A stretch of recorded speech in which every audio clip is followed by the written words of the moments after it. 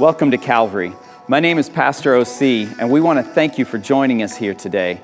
If you're a guest, we are honored that you chose to take an hour out of your day to spend it here with us. If you are a guest, though, we ask one little favor. You'll find a connection card in the back of the chair in front of you.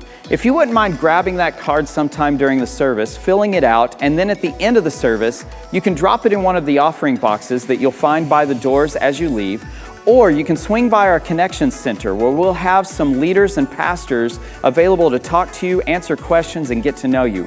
We would love the opportunity to meet you and hear some of your story. So at the end of the service, feel free to do that. At Calvary, we believe that life change happens best in the context of a small group.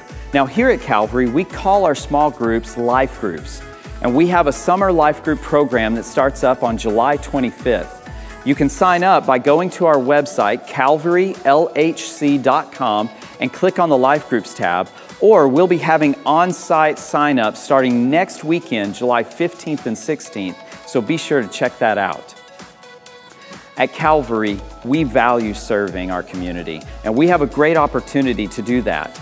We're going to be painting somewhere around 40 classrooms at Thunderbolt Middle School, and we need your help with this project. So if you're interested, go to our website, calvarylhc.com, and click on the Events tab to get the dates and to register for this service opportunity. There are many other activities and service opportunities happening here at Calvary. So don't forget to check out your bulletin or go to calvarylhc.com for more information. Also, we would love to connect with you on social media, so check out our Facebook or Instagram pages online. We're so glad that you came and joined us this weekend. Now, if you have questions or need anything, feel free to swing by our Connection Center and talk to one of our leaders or greeters that will be out there available to you. We're really excited about what God's doing, and we hope that God changes your life this weekend through the services and worship.